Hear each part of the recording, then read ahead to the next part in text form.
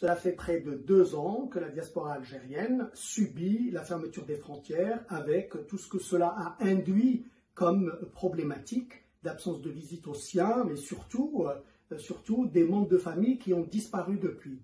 Aujourd'hui qu'il euh, y a une semi-ouverture des frontières, on constate d'abord une offre largement insuffisante et puis surtout euh, la cherté des prix des billets d'avion.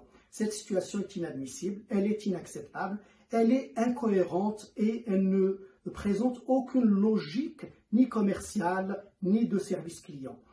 Désormais, il faut que la diaspora algérienne puisse rentrer sans entrave au pays. Cela veut dire qu'il faut mettre en place une offre suffisante et des tarifs attractifs.